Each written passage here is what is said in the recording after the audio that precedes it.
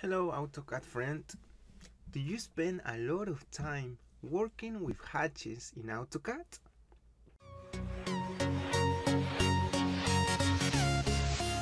For example, do you have to constantly fill areas of your work with different hatch patterns? Well, you can manually pick your desired hatch settings such as pattern name, scale, and more or you can use the new hatch make current command that quickly change the current hatch settings by selecting a hatch on your drawing.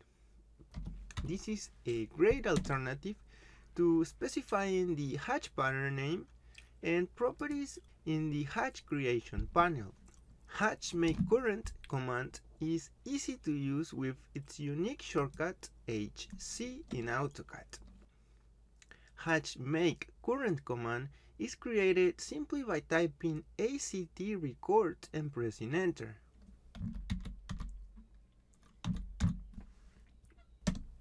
Typing H enter, M enter, selecting a hatch and enter. ACT stop enter. Type HC and click OK. Finally, right click and pause for user input. Notice what happened when I type HC and press enter? It starts hatch make current command to hatch easily. And this is how you save time working with hatches in AutoCAD. I'm Irving.